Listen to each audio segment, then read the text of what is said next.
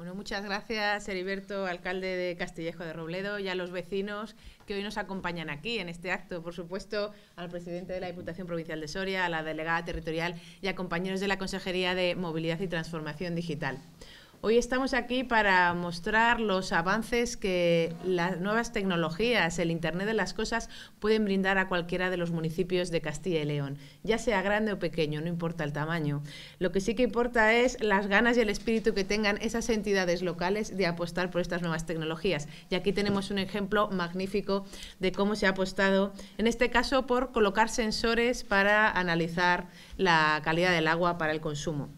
Estamos hablando de un proyecto Territorio Rural Inteligente que lo que busca es mejorar la eficacia, la eficiencia de los servicios públicos de las administraciones locales y que lo hace a través del Internet de, de las Cosas o del Big Data.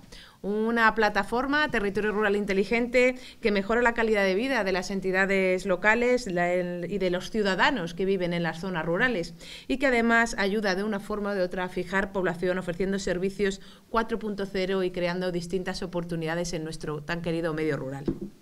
Al final, con proyectos como el que tenemos aquí, de territorio rural inteligente, municipios como el que nos encontramos, de Castillejo de Robledo, pueden disponer en tiempo real de datos necesarios para su gestión diaria y de hacerlo de una forma mucho más eficiente e incluso alertar sobre anomalías en el propio funcionamiento. Vamos a visitar luego cómo tienen colocados unos sensores para analizar el nivel de cloro en su potabilizadora para analizarlo en el ayuntamiento. Y ya no es que puedan ver en su día a día, en cualquier momento, a través de la plataforma que ponemos a disposición desde la Junta de Castilla y León a todos los municipios, el estado, el nivel, sino que incluso hasta le pueden alertar sobre eh, picos o bajadas en ese, eh, en ese nivel correcto. ¿no?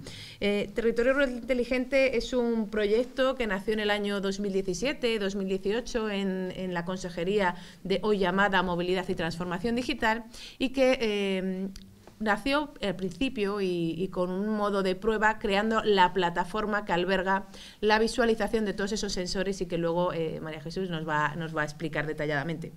Fue creciendo ese proyecto y al año siguiente firmamos un convenio de colaboración con las nueve diputaciones provinciales un convenio que supuso apostar por la sensorización de distintos elementos, que luego detallaré un poquito, y que al final eh, suponía una cuantía de 1.115.000 euros a repartir entre la Junta de Castilla y León, que en ese caso aportó 750.000 euros, y las nueve diputaciones provinciales, en este caso tenemos con Soria, que aportó 75.000 euros. Un convenio que ha demostrado las buenas alianzas que se generan cuando distintas administraciones públicas colaboran.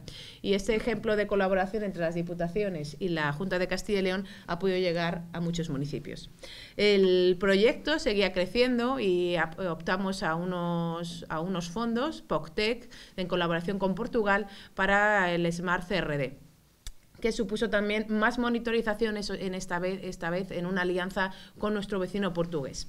Y ahora tenemos la suerte de habernos presentado a unos fondos europeos. Eh, RIAD nos han seleccionado este proyecto por la solidez del, mismo y por los eh, gratas eh, resultados que estamos teniendo en todo este tiempo y vamos a inyectar 2,5 millones de euros más para la sensorización. Al final, lo que buscamos y el objetivo que nos hemos marcado es Ahora mismo tenemos implantados unos 1.500 sensores, llegar a 2.000 sensores. Estamos trabajando en unos 400 municipios y nuestro objetivo es ampliarlo. Ampliarlo a los 2.248 municipios. La plataforma no tiene límites, eh, son los límites que cada uno quiera poner y lo que tenemos que hacer es ponerlo a disposición de estas nuevas tecnologías de cualquier entidad local.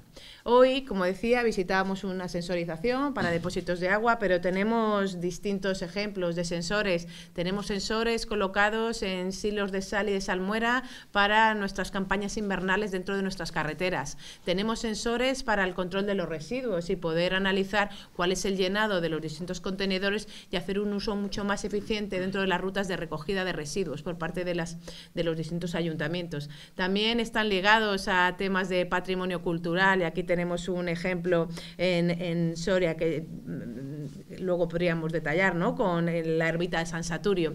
Y también lo hacemos con educación, trabajamos con distintos eh, centros directivos dentro de la propia consejería.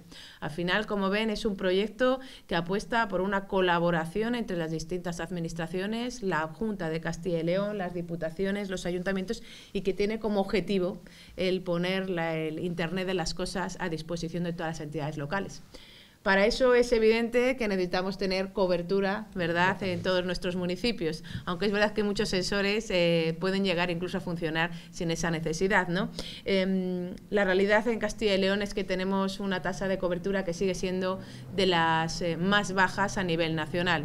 Les puedo asegurar que de esta consejería insistiremos una y mil veces al Ministerio, a la Secretaría de Estado competente, para que la cobertura, tanto de fibra como de móvil sea una realidad en todos nuestros municipios de Castilla y León.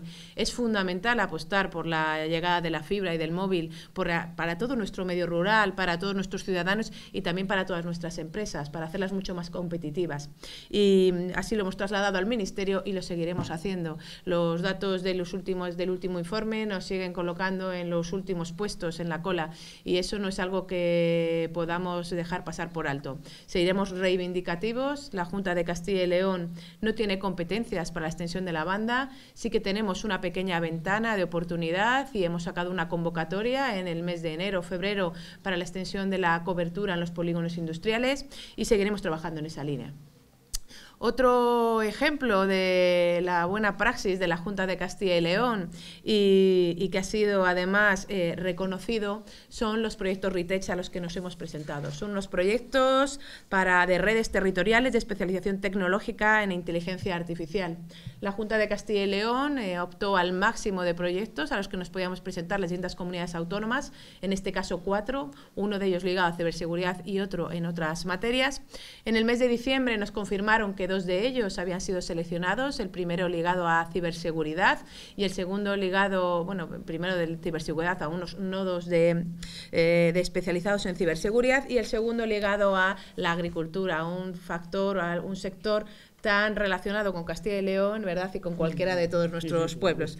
Bueno, pues ya llevamos con este proyecto europeo de agricultura, la inteligencia artificial a nuestro día a día en la agricultura, ¿no? Eh, a una plataforma agroalimentaria.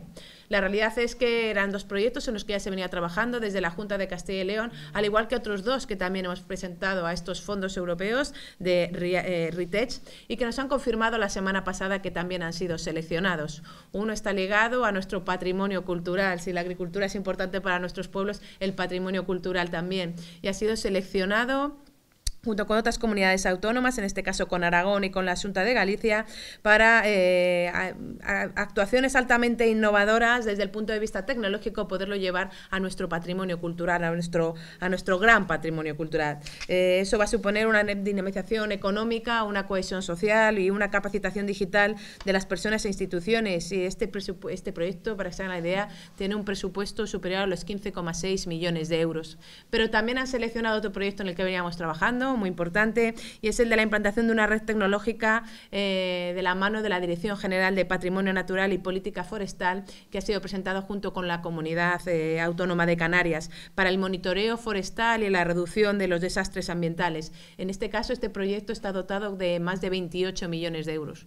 Al final, estos cuatro proyectos, eh, dotados con más de 113 millones de euros entre distintas comunidades, van a suponer para Castilla y León una inversión muy importante importante, va a suponer más de 50 millones de euros que van a llegar a Castilla y León, unos fondos que están financiados eh, por la Junta de Castilla y León y por la Unión Europea con este fondo RITECH y que nos posiciona como una de las comunidades autónomas que más fondos recibe y eso es por el buen hacer de todas nuestras entidades, empresas, nuestra apuesta por la innovación y nuestra apuesta por el desarrollo rural.